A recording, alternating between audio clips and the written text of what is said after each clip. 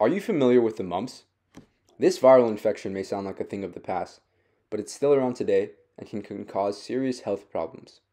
In fact, recent years have seen a resurgence of mumps cases around the world, including in the United States. Mumps cases in the United States were at an all time low in 2015, but there has been a recent uptick in cases in recent years. In 2019, there were 1,546 reported cases of mumps in the US.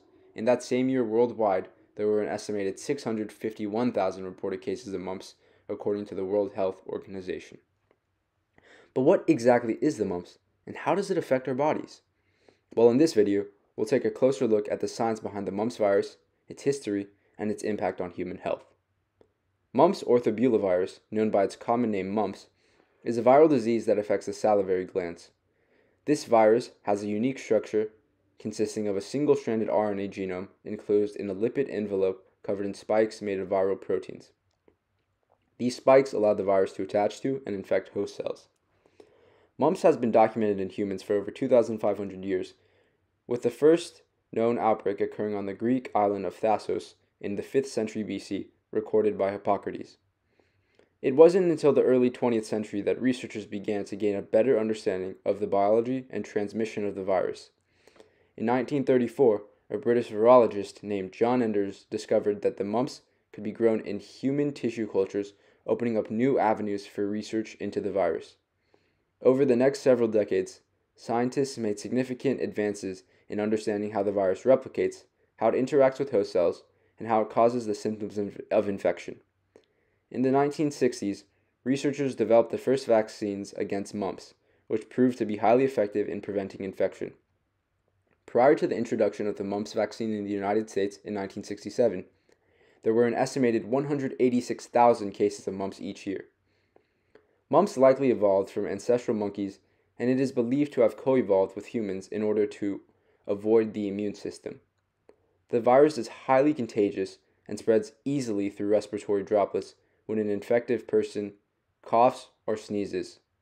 It can also be spread by direct contact with saliva or mucus from an infected person, as well as by touching contaminated surfaces such as door handles, toys, and other objects.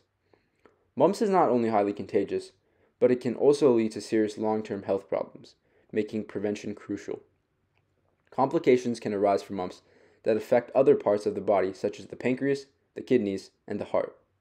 In rare cases, mumps can cause encephalitis, an inflammation of the brain that can result in seizures, deafness, or even death. Mumps can be especially dangerous for pregnant women, as it can increase the risk of miscarriage or premature birth. It can also cause fetal malformation and, in rare cases, stillbirth. What makes mumps particularly concerning is its ability to survive outside the body for a short time, meaning it can, persist on surfaces and potentially infect others who come into contact with those surfaces. This is why it is so important to practice good hygiene habits, such as washing your hands frequently and avoiding close contact with people who are sick. Once contracted, symptoms usually appear within two to three weeks, including fever, headache, muscle aches, tiredness, loss of appetite, and the classic swollen jaw and puffy cheeks due to swelling in one or both parotid salivary glands. While mumps is not lethal, it can lead to serious complications such as meningitis, inflammation of the ovaries or testicles, and even deafness. In fact, 1 in 10 children with mumps can develop meningitis, and 1 out of every 4 teenage or adult men with mumps can develop swelling in the testicles, potentially leading to infertility.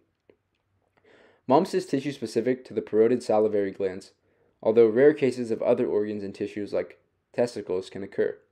Unfortunately, there is no specific treatment for mumps, and recovery time ranges from 3 to 10 days. Rest, ibuprofen, cold cloths, or ice packs, and drinking more fluids can help to alleviate these symptoms.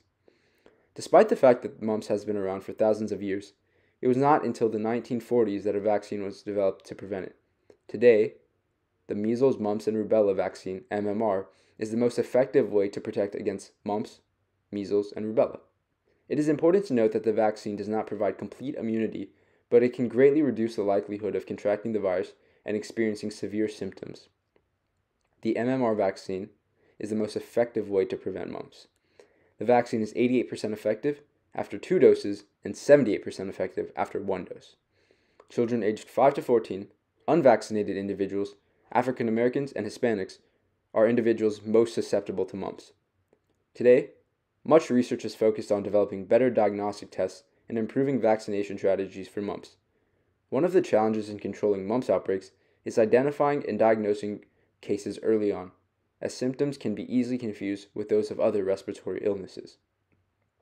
Scientists are working to develop more accurate diagnostic tests that can detect the virus more quickly and with greater precision. Additionally, efforts are being made to improve the MMR vaccine, which has been highly effective in preventing mumps, but is not yet 100% effective with the high mutation rates of the RNA virus mumps. Researchers are exploring ways to enhance the vaccine's effectiveness by adjusting the vaccine dosage or adding adjuvants to the vaccine to improve the body's immune response. Another area of research is focused on understanding the genetic variations of the mumps virus and how these variations may affect its ability to infect and spread to other potential hosts. This knowledge could help inform the development of more targeted treatments and vaccines. But fear not. We have the power to protect ourselves and those around us from this viral menace.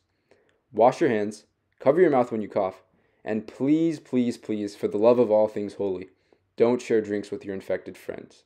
Stay safe and stay healthy.